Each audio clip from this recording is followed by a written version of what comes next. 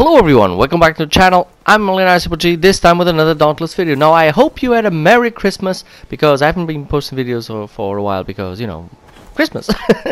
so in this video I'm here to show you how you can get the 10k and the 5k on the sporestruck. Now to do this you should take the axe with the build that allows it to go to 4. Oh, just wait a minute. BAM! 15,000 right there.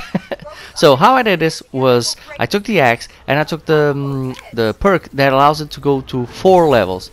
Now this with these four levels you will get 75% more damage. I also uh, I am using the um, the Dra the Malkarion axe, which combines which you can combine with the Drask axe that allows you to do also 30% damage to Behemoth's heads. So these two combined already give you a lot of damage, so that thing is good.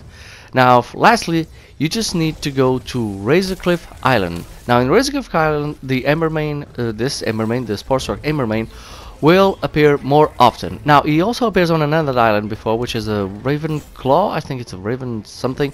But the problem is, he's weaker there, so his health bar is not as big, so you have more trouble, you know. Uh, uh, you, you might kill him too, too easily and so you won't you won't get uh, the get that. Uh, look look at me throwing that axe. I mean, I'm just so good. I'm just so I I never miss, never.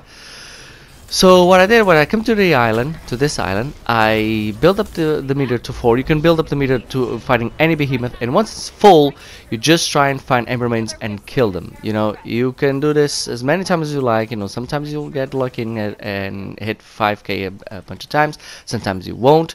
Uh, I also use the, um, the second um, combo, which is the one where he spins with his accent at the end, because that does a ton of damage. And yeah, that's how I got it.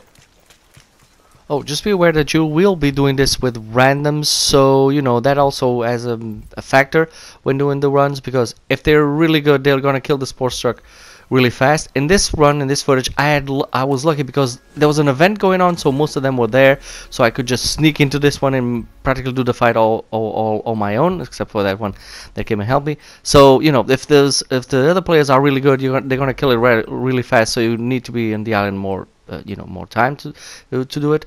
If they're just average or just plain bad, that will give you more opportunities to to try and, and do the 5k and the 10k damage to the sporestruck. Uh, the build is at the end if it helps you. If this tips helps you, I hope you like it. Uh, I hope you have a Merry Christmas. New Year's Eve is almost around the corner. So I wish you a good year because, you know, 2020 was not a happy, not a happy one. But, you know, that's it. Hope you enjoy, like and subscribe, and as always, have a great game, guys.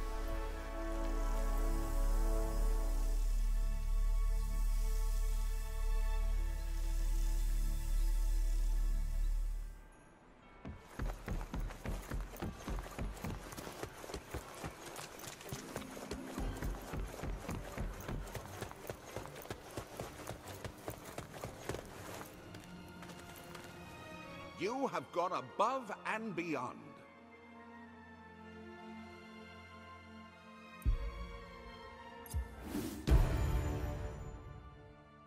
Frostfall fashion suits every Slayer.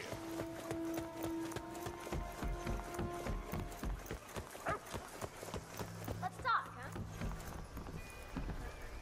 There's a job needs doing, Slayer.